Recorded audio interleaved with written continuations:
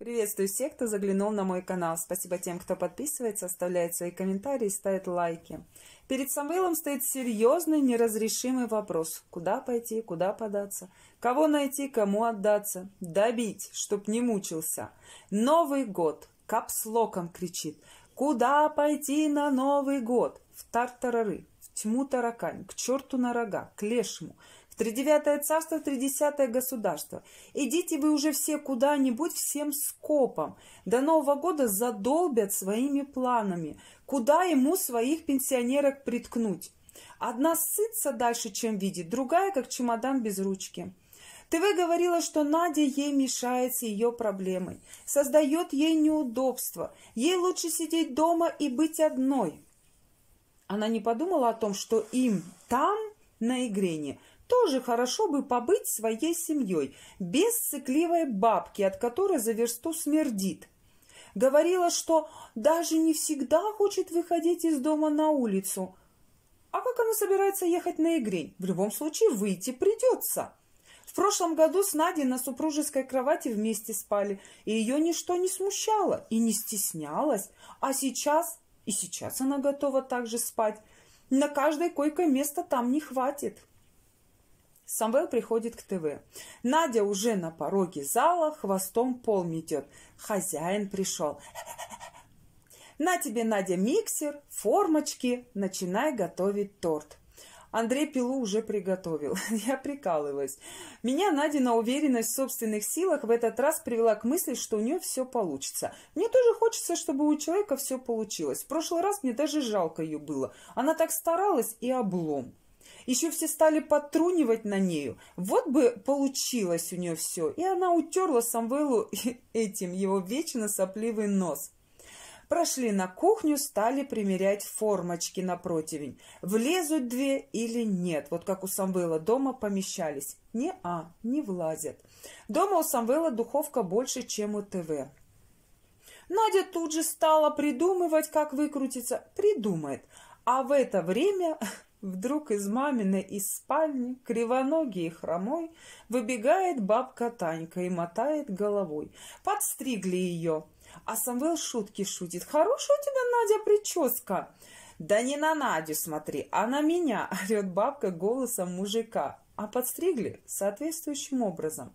Наде тоже подровняли прическу, лучше бы не трогали. У нее такая хорошая была прическа. Сейчас они как две мужички – Челки короткие, некрасиво. Завидую я вообще людской простоте. Они так легко доверяют свои волосы всем подряд. Я больше десяти лет стриглась у одного мастера. Потом она уехала, я стала искать другого.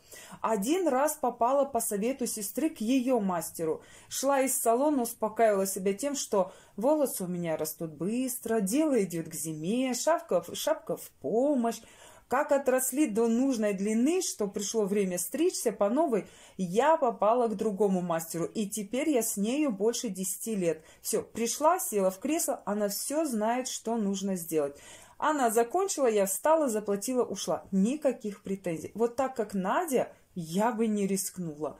Она знает эту Катю, она уже стриглась у нее, и каждый раз получается плохо. Это Катя смотрит Самвела и над ТВшкой поколдовала.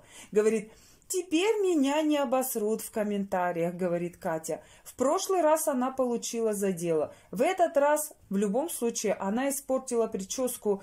Ну, ТВшки получше все-таки, чем было. У нее там такие лохмы были, что сейчас, когда ей все это подровняли и убрали эту лишнюю длину, ей стало более-менее это ничего. А вот Надя, она прическу испортила стопроцентно. Вы обратили внимание, что у ТВшки не только глаза, как у гуманоида, но и пальцы. У нее средний палец очень длинный, а безымянный намного короче. Я обратила на это внимание не так давно. Если найду ту фотку, я вставлю в обзор. Вот посмотрите на этот скрин. Вот про кого надо снимать все серии НЛО. Облить зеленкой, и получится настоящий зеленый человечек. Не женщина, а гуманоид в грязной футболке. Издалека смотришь, ну, камера все погрешности не выдает, Самвел снял вблизи. Оказалось, что футболка вся заляпанная. Она же ест неаккуратно. Обычно люди наклоняются к тарелке. Баба Таня нет, спинку она не гнет. Ну и потом ходит как свинота. орет Самвелу. Да надоело мне уже наряжаться. А, надоело. Самвел раньше говорил, что в женщине только тогда не умрет женщина, когда она не перестает за собой следить. А если перестала, то все. Ну вот, значит, в ТВшке она сдохла уже давным-давно и смердит. Самвел говорит, ой, какие я приготовил бедрышки с апельсинами. Нам на пробу тут же просит Надя. На игрень побегут бедра, сказал Самвел. Баба Таня сразу как сыч надулась. Все, лафа кончилась.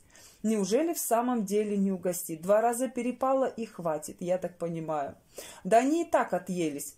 Вон зрители в ТикТок пишут Самвелу, что Надя врет, а ТВ ее покрывает. Надя весит больше, чем озвучивает. Эх, Надя ракетой сорвалась с места и побежала к весам. На понт можно взять ребенка или подростка, но взрослую женщину – да плевать, кто там что языком шлепает. Люди будут говорить в любом случае, но зачем кому-то что-то доказывать? Но доказала и таки смачно плюнула. Брехухой в данном случае оказалась не она, а зрители. Она никогда, говорит, больше не вернется к своему прежнему весу. Ну, дай-то бог. ТВшка тут же села на любимого конька, сравнивает себя с Надей. Ну, только неудачник сравнивает себя с теми, кто хуже. Ну, потому что знает, что конкуренция с теми, кто лучше, не выдержат. Были мы на Западной. Надя против мене отака, сказала ТВ и развела руки в стороны. А сравнить себя с собою, когда у нее не было таких жировых складок, ни судьба, не хочется. Зрители, имейте совесть. Вы чего так зашугали блогера и его звезду? Ни Самвел, ни Надя не заходят почитать, что там настрочили. Им, наверное, в кошмарном сне снится, что они читают комментарии. Нашкодят, а потом боятся туда заглядывать. Самвел говорит, Надя, ты читала, что пишет Надя? Не, не читала. А ты читал? Нет, говорит, я тоже не заходил. Ну, слава богу, хотя бы в этом видео не будет вот этих ответов. Зрители пишут Надя, говорит Самвел, а давай мы тебе эко-шубу купим. Там симпатичные были эко-шубы с капюшоном. Света себе купила такую страшненькую. Надя, как услышала это предложение, сразу заулыбалась так застенчиво. Женщина в ней не умерла. Хочется ей шубку. Да чего уж там. Собрали деньги на шубу, идите и покупайте. Вам контент, нам развлечение. Я не против посмотреть на выбор и примерку шубы уже для Нади. Надя в ней тоже будет, как и Света, медведь-шатун. Она недавно рассказывала, какой у них был сильный буран, и она сквозь него пробиралась. Вот и будет лазить в этой шубейке.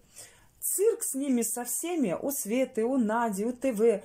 Будут шубки. Ну, у кого-то, у этих двух уже есть. Самвел в этом стадии главный козел, уже в бомбере.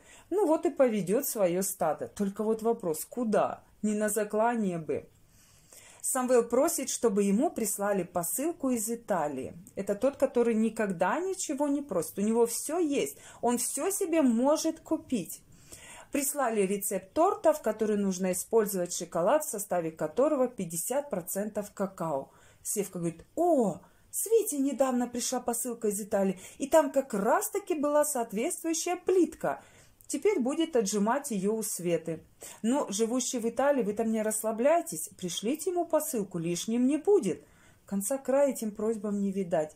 Я ни за что не поверю, что у них в магазине нет подходящего шоколада. Просто Севке надоели посылки с прокладками. Хочется ему чего-нибудь вкусненького, ну и мамку заодно подразнить.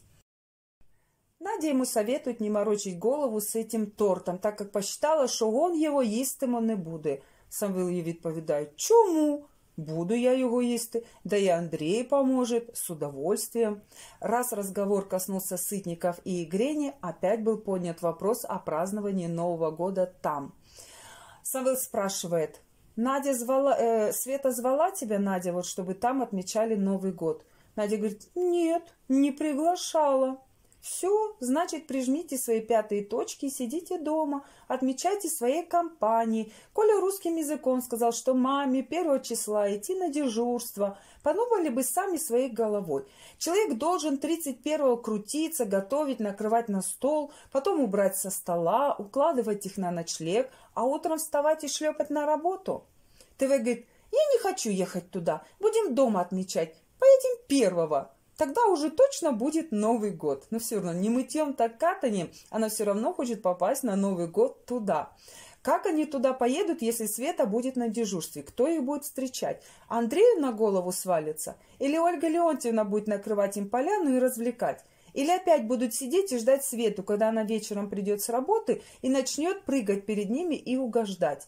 Насколько люди привыкли бежать из дома. Они один год не могут никуда не поехать. Они просто не представляют, ну как это они остались дома, ни первого, ни тридцать первого никуда не поехали. Почему они не просятся к Самвелу? Пусть он собирает весь свой курятник, включая Зину, и везет к себе домой. На игре Зину он возил, а у него дома она не была. Чужим людям постороннюю женщину возит, а почему к себе не хочет пригласить подругу матери и угостить? ТВ недавно ему намекала, что давненько она у него не была в гостях, хотя живут в одном городе. Либо пусть собираются всей компанией и валят к Ирочке. Она давно не видела братика и мамочку. Надя тоже там не чужой человек, они ее к себе уже приглашали, передачки от нее брали, и мясо, и масло, и консервацию. Ира брала с удовольствием и ни разу не сказала, да вы что, Зачем мне это нужно? У нас тут все под боком, мы это можем купить. Надя, не вздумайте, в этот раз так и быть мы возьмем, но больше не предлагайте, я не возьму. У нас все есть, мы ни в чем не нуждаемся. Ни баба Таня, ни Надя никаких других вариантов не рассматривают. Им обязательно надо, как снег на голову, упасть чужим людям. ТВшка сидит и говорит, Новый год – это семейный праздник. Они всегда все лет отмечали Новый год в кругу семьи. Надя молодец, быстро сориентировалась, говорит, подождите, а если вас позовут на игре, вы не поедете? Ну, раз Новый год семейный праздник, надо отмечать дома. Вы останетесь дома? ТВ сразу не поняла, о чем она. Как это она останется дома, если их пригласят? Нет, конечно, она что, пальцем делана? Она поедет к ним? Не всегда Новый год семейный праздник. Можно и съездить. А с другой стороны, это еще как посмотреть? Они же родня ей, сваха как-никак. ТВшку в ступе не поймаешь, она из любой ситуации выкрутится. Если Света пригласит их 31 числа, обе бегом побегут на своих сделанных коленях и забудут все, что они только что говорили. Бахнут коньячка, завалятся на диван, варежки пооткрывают и будут с открытыми ртами спать. Агрессивные какие все. Я думала, Надя на Самвела кинется и покусает. ТВ говорит, и вообще, Надя, у тебя такая дурацкая привычка есть. Ты любишь среди ночи звонить и поздравлять людей с каким-нибудь праздником. Можно подумать, дня для этого нет. А что тут такого? Но если людей это устраивает, которым она звонит среди ночи, то, конечно, ничего такого в этом нет. А если люди против и прямо ей об этом говорят, что она этими звонками их беспокоит, тогда очень много в этом такого. И делать это не нужно. Это тоже своего рода эгоизм. Человек думает только о себе. Надя хочет поздравить первой, и пусть весь мир этому радуется. Итак, к чему они пришли? На игре едут по-любому. 31 или 1 это не суть важно. Сытники застилайте порог штанами и встречайте. К себе эти барышни никого не зовут, сами с радостью по гостям шастают.